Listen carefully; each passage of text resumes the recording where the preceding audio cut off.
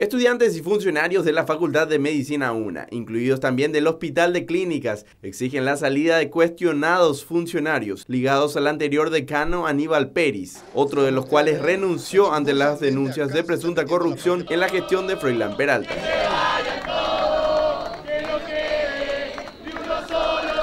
Los mismos piden la salida de los hermanos Jaime y Emiliano Ibarrola, miembros del Consejo de la Facultad y del profesor Gustavo Rodríguez Anderson, a los que acusan de encabezar la claque que sigue manejando la facultad pese a la salida de los principales cuestionados. Que es justamente el motivo por el cual todo el estudiantado de la Facultad de Ciencias Médicas, las cuatro carreras que componen la facultad, nos fuimos a paro pidiendo la renuncia de ellos. Luego de eso recibimos el apoyo de los diferentes estamentos de la facultad que también coinciden en ese pedido de renuncia. Por eso el estudiante de la Facultad de Ciencias Médicas no, no festejó la renuncia del consejo directivo.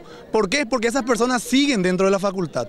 O sea, no es ningún logro que ellos no estén eh, como, como cabeza, vamos a decirle, de la facultad porque siguen ahí adentro.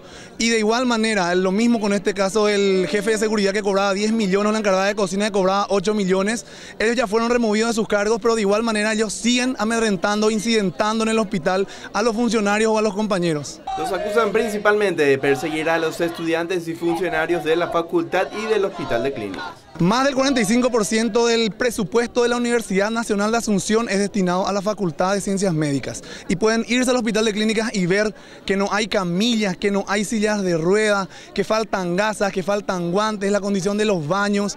Es totalmente triste el panorama que el hospital de los pobres está sufriendo. Principalmente la persecución, el amedrentamiento y las irregularidades que ellos tienen respecto a cobro de, sueldos multirrubros que están teniendo justamente en nuestra Facultad de Ciencias Médicas, no, únicamente ahí, también en, otra, en otras carreras tienen y justamente por eso pedimos que se vayan ellos. Esto no es únicamente a nivel estudiantil, vamos a decirle, sino en todos los estamentos de la Facultad de Ciencias Médicas. Ellos están alineados a lo que es el Partido Colorado, son los principales vamos a decirle, de alguna manera fueron jefes de campaña, incluso de Froilán, para que él llegue al rectorado. Con imágenes de Huizasi informó Alejandro Acosta para ABC Color.